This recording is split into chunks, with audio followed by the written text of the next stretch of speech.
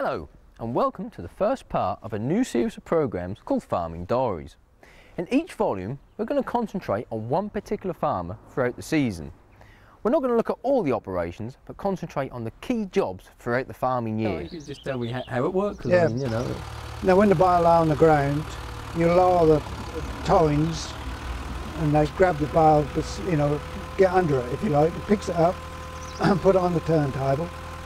Then you drop the drop that down a bit, then you turn the table by hand, you know, that lever inside, hydraulically of course driven, and uh, 15 times, 15 rounds that go, and that's got a double layer then of plastic around that.